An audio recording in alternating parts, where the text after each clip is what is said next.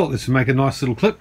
I've just been trying to put um, that pack up there and it actually seems to be sitting there quite nicely.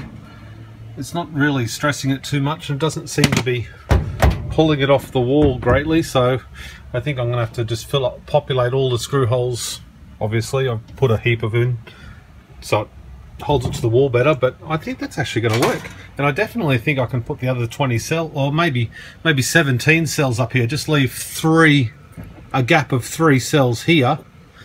So and then I can populate that out with the rest of the cells so I can have almost an 80 and almost a 160 cell pack. I think that's going to work. But more interestingly I thought I would um, balance these cells while I was mess-assing around. You know, I've got the Batrium stuff on there doing its thing, but I thought I'd, I want to actually get the old clamp meter and whack it on there. So the direction is pointing downwards, so it's obviously not that much there. 0.6 of an amp, 0.2 of an amp, point oh three and a half amps I think. That's five and a half.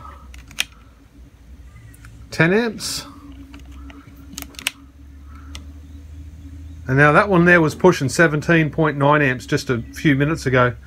So um, the direction is facing that way. So we're going down this, this end of the pack.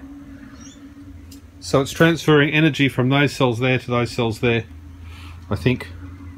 I think that's the way I read it. Energy going that way and it's in positive. So anyway, it doesn't matter. So that was actually the difference. Those seven there were the bottom cells and those seven there were the top cells. So if we keep going along, 6 amps, 3 amps, we'll keep the same direction, 1 amp, 1 amp, 0.6, 0.2. There you go. Okay, it took about two or so more days, I reckon, and they were balancing at 0.02 of an amp still, so I've got the, the top ones back up there. Now, I have progressed a little bit further with this thought. I have done what I said I was going to do earlier in the video and added another 17 cells there, and it works really, really well. There, it's pushing that one up just a little bit, but I think with a bit of creative bending, we might be able to counteract that a little bit and there doesn't seem to be any flexing of that bottom mount. So I think we are good. Like I said earlier, the only thing that I'm worried about is weight. Now, one of these is, I think, 7.2 kilos. Let's just do that quickly. 7.5 kilos. So it's going to be, what, uh, about 50, 50 kilos per seven cells.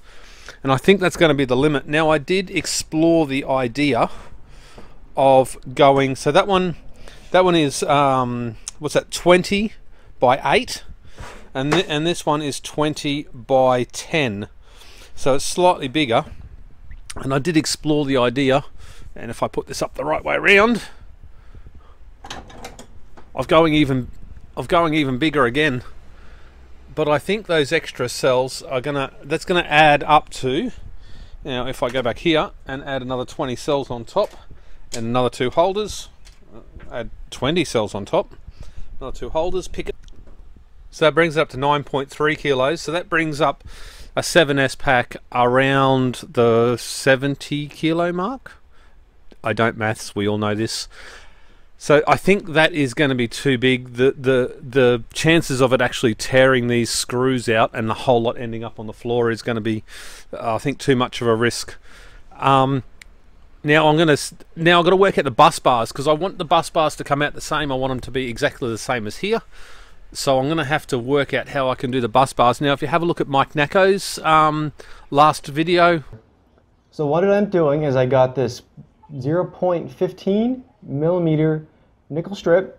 Um, I bought that from Keith's store, and then I did groups of five cells. So you'll see each row has five cells, and then it stops here, and then there's five more cells, and then it stops here, and then there's five more cells. Um, and then for the bus bar, I did 4 gauge copper wire. It's just twisted THHN, I believe it is. So or video that he did, he's done some very big packs, I think 300p maybe even. Um, and he's done nickel strip and then just soldered one fuse to the bus bar. And I like that idea, so I think I'm going to copy him. making the bus bars, basically all that I do is use some of the old uh, outer of the the copper wire that we use, and then use that to run it round. Now all that I do is I just use a what do you call it, plastic mount, then just drive some little nails through each each place where you want it to turn, and then it's exactly where you need it to be. And of course, then I lay it out like this. It looks really good, and then I get the length of the actual copper bus bar, and then lay it out, so it works very very well. Um, this one is just zip tied into place so I can see how it works and you can see how I envision the nickel strip actually working. Now this isn't pushed together properly that's why this nickel strip isn't laying on exactly right but it's close enough for the video. So that actually fits very very well so if I put the what do you call that? Lug on the end somehow with one hand. There we go. And if I put this one on top pretty much matches up perfectly. And I can run as I upgrade I can just throw these into, into service. Of course they're not going to be balanced but it doesn't matter as long as I don't flatten that one and I can just add them slowly so I don't have to do them all in one hit. So there we go tubers, that's a little bit of an update well where I'm up to at the moment. Um, there's lots of things happening in the background of course like I always do. I'm not filming anywhere near as much as I was just because it just takes so much time and I'm just really enjoying actually working on the project rather than trying to re record it all for you guys. So, tubers, thank you very much for tuning in. I'll see you on the next one, eh? Cheers.